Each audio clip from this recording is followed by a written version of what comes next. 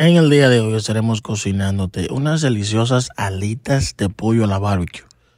Aquí tenemos las alitas de pollo. No se te olvide cortarle las puntas a las alitas, porque eso no lo vamos a comer. Lo vamos a secar bien secas. Una vez ya que las lavemos con agua y mucho limón, las vamos a lavar y las vamos a secar para que los ingredientes que vamos a estar usando se le ardieran. Vamos a estar utilizando polvo de hornear le vamos a colocar para que se pongan bien crispy. Y los ingredientes que vamos a estar usando van a ser sal, pimienta negra, le vamos a poner agua en polvo, cebolla en polvo, le vamos a poner paprika y también sal de sazonantes.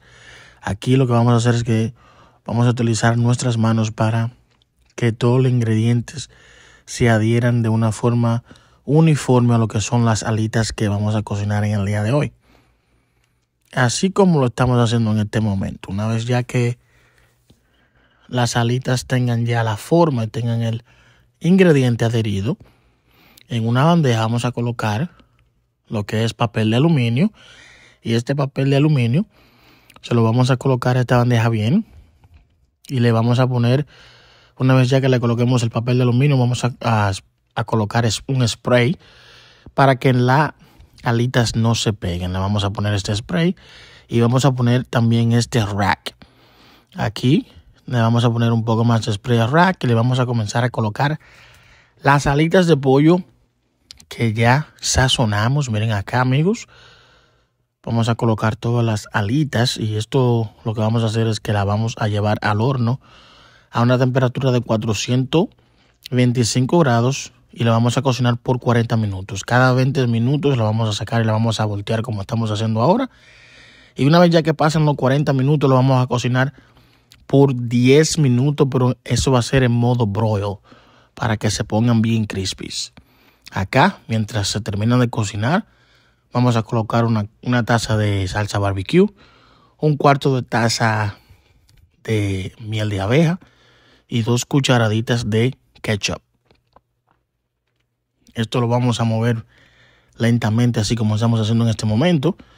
Aquí ya vamos a sacar las alitas, las vamos a dejar reposar de unos 5 a 10 minutos, que se enfríen y aquí comenzamos a colocar lo que son nuestras alitas de pollos a la barbecue en lo que es la salsa que hemos preparado en el día de hoy. Miren acá amigos, cómo se ven las alitas bien cocinadas, bien crujiente. Esto tiene un olor totalmente increíble.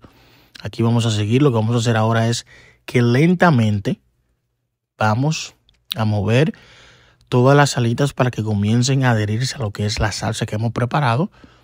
Esto tiene un olor, se me hace agua la boca, solo de mirar lo que estamos preparando en el día de hoy. Miren acá, lo que vamos a hacer es que una vez ya que se le adhiera lo que es la salsa, lo que son nuestras alitas que hemos preparado, lo que vamos a hacer es que también vamos a colocar un poquito de salsa ranch y las vamos a estar degustando con esa salsa ranch. Si te gusta la salsa ranch, miren acá amigos, la delicia que hemos preparado en el día de hoy.